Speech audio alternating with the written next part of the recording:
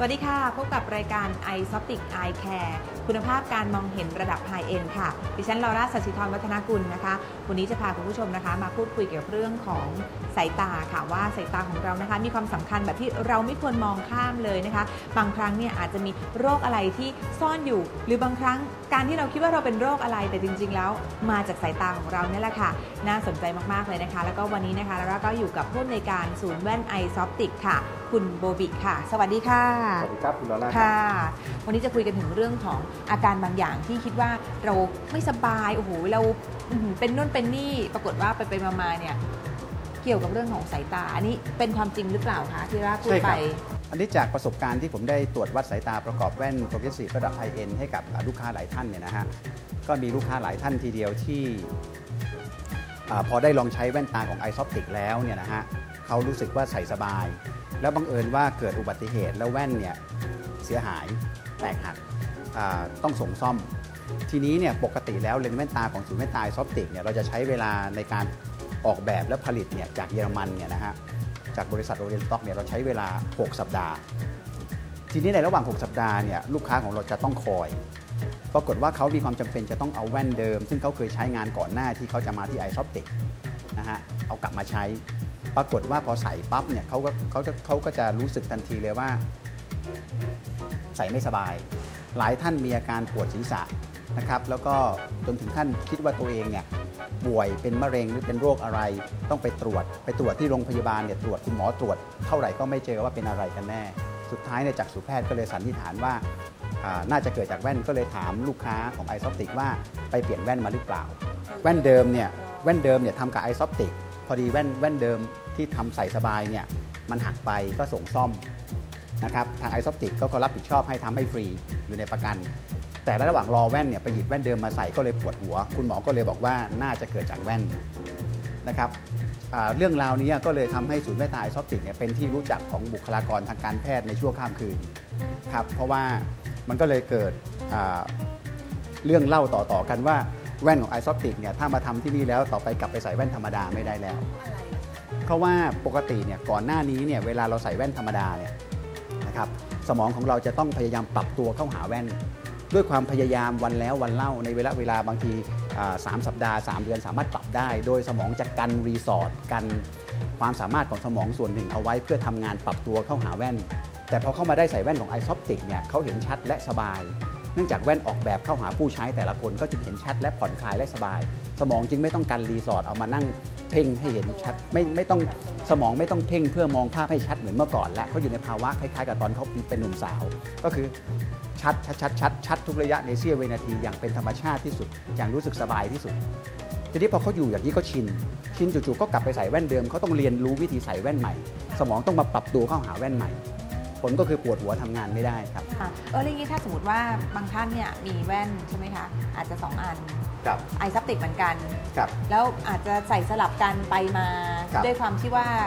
ขี้ลืมครับหรือว่าทำหักอะไรอย่างเงี้ยค่ะครับมันจะใช้ได้ไหมคะตะกี้ที่เอ่อคุณบุบีเล่าคือเปลี่ยนแว่นแล้วกลายเป็นปวดหัวเป็นนี่ถ้าคำถามเปลี่ยนแว่นที่แต่เป็นแว่นไอซับติกคือ ISOPTIK เราเป็นที่เดียวในโลกที่สามารถที่จะทำแว่นออกมาเนี่ย นะฮะสองอันหรือ 3 อัน 4 อันให้ลูกค้า 1 คน แล้วใส่แล้วสามารถสลับใส่แว่นได้โดย ไม่ต้องปรับตัวเลย ใส่ปุ๊บลืมตาเปรี้ยงชัดชัดชัดชัดสบาย เป๊ะจบ เปลี่ยนแว่นอีกอันเปรี้ยงปั๊บชัดชัดชัดใส่สบาย เราเป็นที่เดียวที่ทำได้นะคะ คือต้องเป็นเลนส์เดียวเลนส์หมายถึงว่าเลนส์ค่าของเลนส์เดียวกันด้วยหรือเปล่าคะอ่าค่าของเลนส์จะต้องไม่เท่ากันฮะเช่นยังไง เนื่องจากว่าตัวตัวกรอบแว่นเนี่ยมันเป็นกรอบคนละแบบมันคนละชนิดนะฮะดังนั้นในการคำนวณค่าจึงละเอียดมาก ไอซอปติกไม่ได้แค่ทำแว่นเข้าหาสายตาแต่ละคนเท่านั้น แต่ทำแว่นเข้าหาสายตาแต่ละคนบนกรอบแว่นแต่ละอันบนตำแหน่งแว่นที่แตกต่างกัน ไม่ว่าแว่นจะโค้งมากโค้งน้อย อ๋อ สมมุติว่าคนหนึงมีแว่น 10 อัน คือชอบแบบกรอบบ้างกรอบนะ ไม่มีกรอบอะไรก็แล้วแต่เป็นดีไซน์ที่ต่างกัน อันนี้การตัดวัดการตัดวัดการเอ่อจัดระยะค่าอะไรก็คือจะต่างกันไปด้วยใช่ครับแต่อย่างไรก็ตามใส่แว่นอันไหนก็ไม่ล้า ไม่ไม่ล้าเวียนหัว ไม่เวียนหัว ไม่มึนหัวไม่มีเพราะว่าร่างกายไม่ต้องปรับเข้าหาแว่นอ๋อใช่ครับแต่ถ้าเป็นของอื่นๆ นวัตกรรมอื่น ๆ ที่ยังตามไม่ทันนี่คือร่างกายต้องปรับเข้าหาแว่นเหรอคะถึงแม้ว่าจะเป็นค่าเลนส์เดียวกันใช่ครับเทคโนโลยีที่ไอซอปติกใช้อยู่เนี่ยอ่าเป็นเทคโนโลยีที่ล้ำสมัยกว่าแว่นตาทั่วไปในท้องตลาดประมาณ 20 ปีโอ้โหต่างกัน 20 ปีครับ นานนะคะเนี่ย ใช่ครับ แล้วก็กว่าจะออกมาเป็นแว่นแต่ละอันเนี่ย บอกได้เลยว่าขั้นตอนการทำงานของเราเนี่ย ละเอียดแล้วก็มากกว่าแว่นตาปกติประมาณ 100 เท่า และแต่ในแต่ละในแต่ละขั้นตอนเนี่ยพลาดไม่ได้เลย ถ้าพลาดปุ๊บเนี่ยคือต้องนับหนึ่งใหม่ดังนั้นแว่นของไอซอปติกจึงใช้เวลาทำนานมาก 6 สัปดาห์เป็นอย่างน้อยครับ อ้อันนี้ต้องจองคิวกันล่วงหน้าเลยนะคะไม่ทราบมีเอ่อลูกค้าท่านไหนที่มีประสบการณ์ใกล้เคียงกับสิ่งที่เราถามไปว่าเอ่อวันนี้ก็จะมีท่านฟิลิปวีระบุนนาคนะครับท่านเป็นผู้บริหารมีความสามารถสูงท่านหนึ่งนะครับท่านก็มีประสบการณ์ตรงในเรื่องนี้นะครับเดี๋ยววันนี้รอคุณลอล่าจะได้พบกับท่านฟิลิปวีระบุนนาคได้เลยค่ะเดี๋ยวไปฟังเรื่องราวของท่านฟิลิปด้วยกันค่ะ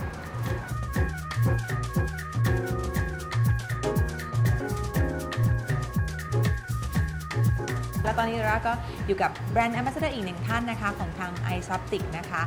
ตอนนี้นะคะท่านบอกว่าท่านก็อยู่ในช่วงที่เรียกว่าพักผ่อนนะเป็นช่วงพักผ่อนของชีวิตนะคะ แต่อดีตที่ผ่านมานะคะ ท่านก็ทำงานอย่างหนักนะคะ ในตำแหน่งของอดีตผู้บริหารตราสัญลักษณ์ผลิตภัณฑ์ของบริษัทการบินไทยจำกัดมหาชนค่ะ คุณฟิลิปวีระบุญนาคค่ะ สวัสดีค่ะท่าน สวัสดีค่ะ สบายดีนะคะ บอกว่าช่วงนี้พักผ่อน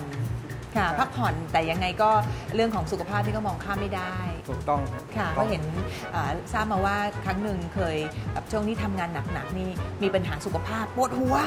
นะคะไปหาหมอใหญ่เลย เกิดอะไรขึ้นคะตอนนั้นเล่าให้ฟังนิดนึง ก็เป็นคนชอบใส่แว่นตามาแต่แต่แต่เด็กแหละครับก็เปลี่ยน เปลี่ยนแว่นตาไปเรื่อย ก็ทำเหมือนเดิม หลังจากที่ทำแว่นตาที่นี่วันนั้นก็ไม่ทราบเพราะสิเพราะอะไรเพราะมันปวดหัวปวดหัวมากเลยสองสามวัน ก็ไปหาหมอตรวจนู่นตรวจนี่เขาก็บอกไม่ไม่เป็นอะไร แล้วก็ถามว่าเปลี่ยนแว่นตาเปล่าบอกใช่เขาบอกลองเอาแว่นตาเดิมมาใส่ คราวนี้ก็หายปวดหัวโอ้แปลว่าใช้เวลาตรวจอยู่ที่โรงพยาบาลทั้งวันเพราะคิดว่ามีโรคอะไรอยู่ ไม่มีเลยที่แท้แล้วอยู่ที่เรื่องเปลี่ยนแว่นเท่านั้นสายเองตาสายตาว้าวโอ้ยสำคัญอย่างที่มองข้ามไปไม่ได้เลยนะคะระบบสายตาเราเนี่ยบางทีเนี่ยเวลาเอิ่ม นอนไม่พอพักผ่อนไม่พอเนี่ยสายตาของผมเนี่ยจะไม่โฟกัสสองข้างสองข้างโฟกัสไม่เท่ากันจะเบลออ๋อก็มาที่นี่ค่ะก็ทำเอ่อกระจกไปเสื่อมอีกอีกแบบหนึ่งมันก็ช่วยให้สายตาเนี่ยเอิ่มโฟกัสให้ให้ดีขึ้นก็เห็นชัดขึ้นอ๋อมีอยู่พักหนึ่งไม่ทราบเป็นอะไรก็มองเบลอไปหมดเลยเพราะสองข้างสายตาเนี่ยมันไม่ไม่ไม่ไม่ sync กันนะฮะ ก็เลยเบลอค่ะ แล้วมารู้จักที่ทาง ISOPTIK นี้ได้ไงคะเดินเข้ามาเองหรือว่ามีใครชวนมาไม่ฮะก็เดินเข้ามาเอง เพราะเป็นคนชอบอย่างที่เรียนให้ทราบชอบเอิ่มเป็นตาอยู่แล้ว ค่ะก็เลยเดินขึ้นมาก็ถามดูเอ้ยก็ลองดู พอลองพอลองอันหนึ่งแล้วก็ก็ชอบ progressive เนี่ยถ้าแบบธรรมดาเนี่ยนะฮะเวลาจะมองมองข้างซ้ายข้างขวาเนี่ยมันต้องหันไปทั้งทั้งทั้งศีรษะเลย คือไม่สามารถเหลือบมองได้นะฮะ แต่ส่วนอันนี้ที่ใส่อยู่เนี่ยแค่ขั้นเหลือบก็เห็นชัดโอเคละจริงเหรอคะฮะอย่างกับแว่นนักบินที่แบบว่าปิดหมดเลย แต่อันนี้ไม่ต้องปิดหมดเลย ก็นี่ก็เห็นนะเหลือบเหลือบๆนี่ก็เห็นแล้วไม่ต้องแบบหันไปทั้งศีรษะอย่างเงี้ยฮะโอ้แจ๋วเพราะว่าสมัยก่อนเนี่ยเอ่อทำแว่นธรรมดาเนี่ยโปรเกรสซีฟเหมือนกันแต่อีกแบบหนึ่งเนี่ยก็เวลาจะมองอะไรนี่ก็ต้องต้องหันทั้งศีรษะเลย ถึงจะเห็นครับ แต่อันนี่ก็แค่เหลือบเหลือบแล้วเรื่องของความแข็งแรงนะคะ เพราะแว่นบางประเภทที่เป็นแบบไม่มีกรอบเนี่ยโอ้เสียบ่อยหักบ่ออันยนี้มันอยู่ที่ที่เราใช้นะครับค่ะ ใช้มาก็ไม่ไม่แข็งแรงดี ค่ะ แต่อาจจะเปรี้ยวมั่งอะไรมั่งเพราะบางทีเราเอ่อถอดเร็ว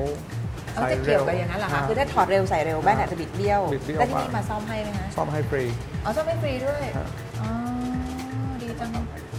ค่ะ แล้วท่านยังสามารถทำแอคทิวิตี้อื่น ๆ ได้ไหมคะแบบเล่นกีฬาท่องได้เที่ยวได้ผได้จญหมดภัเลยยอะไรอย่างงี้ได้หมดเลยก็นี่เพิ่งมาทำแว่นตาดำอีกอันหนึงเพื่อจะเอาไปใส่ตีกอล์ฟแสดงว่าแว่นดำที่นี่คือจะตัดให้เข้ากับสายตาของเราใช่ครับอ๋อก็เหมือนกับแว่นตาสายธรรมดานี่แหละครับค่ะ เหมือนแว่นใสแต่ว่า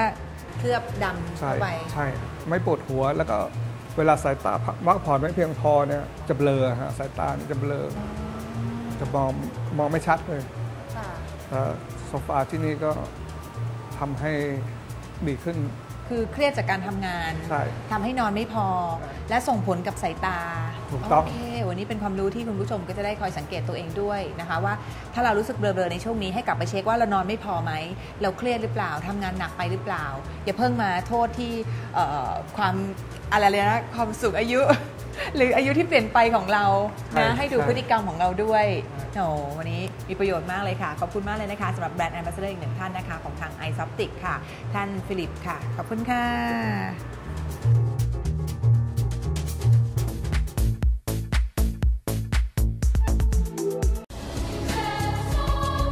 ผมจะพิสูจน์ให้โลกรู้ว่า